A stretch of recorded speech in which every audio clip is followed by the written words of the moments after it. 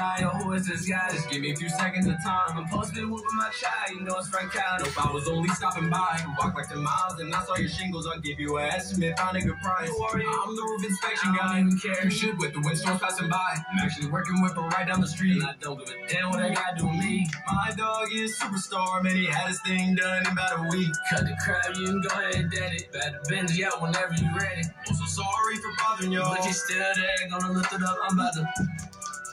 Yeah. Kid and tried me a thousand times. Boy, you the lie, no need to cry, no, I'ma die. I, I, I, I, whoopers for life, whoopers for life, whoopers for life, whoopers for life. You done tried me a thousand times. No need to lie, no need to cry, no, I'ma die. I'm, I'm, I'm getting whoopers for life, whoopers for life, whoopers for life, whoopers for life, for real.